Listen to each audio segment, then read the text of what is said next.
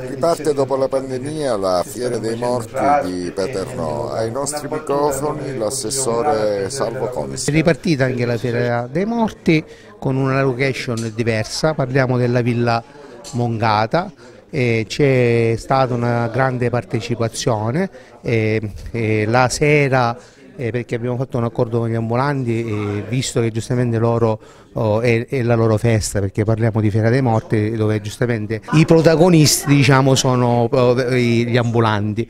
E, e allora eh, si svolgerà eh, di pomeriggio anche se qualche bancarella e qualche volante preferisce rimanere là anche di mattina però la vera partecipazione, la vera festa è di pomeriggio. Ci sono delle giostre, c'è un'area food e, e credetemi c'è una partecipazione le persone praticamente avevano voglia di ripartire, sia i commercianti, sia gli artigiani che anche i cittadini, giustamente dopo la pandemia aspettavano questo momento.